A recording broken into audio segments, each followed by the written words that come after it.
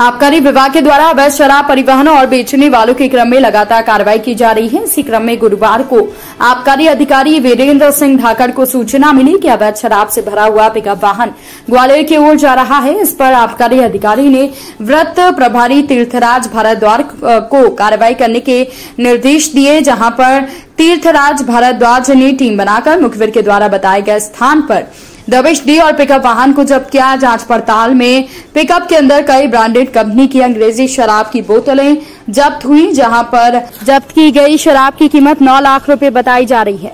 वहीं परिवहन में प्रयुक्त वाहन को जब्त किया गया।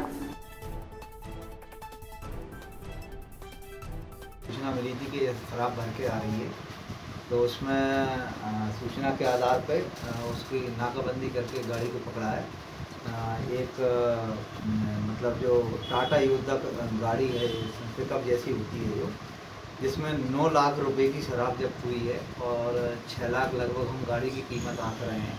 टोटल 125 अ, अ, पेटियाँ हैं जिसमें 1125 बल्क लीटर शराब जब्त हुई है। सारी अंग्रेज़ी शराब है और हाई रेंज है जिसमें मैं कुछ नाम जैसे ब्लेंडर प्राइड की तीन पेटियाँ हैं आरएस की बारह पेटियाँ हैं आरसी की रॉयल चैलेंज सात पेटियाँ हैं इम्पीरियर ब्लू की सोलह पेटियाँ हैं गोवा की बयालीस पेटियाँ हैं ग्वालियर लेके जा रहा था।